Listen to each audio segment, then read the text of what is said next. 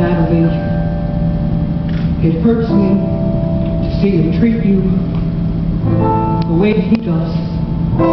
It hurts me to see you sit and cry. When I know I could be so true if I had someone like you. It hurts me to see those tears in your eyes.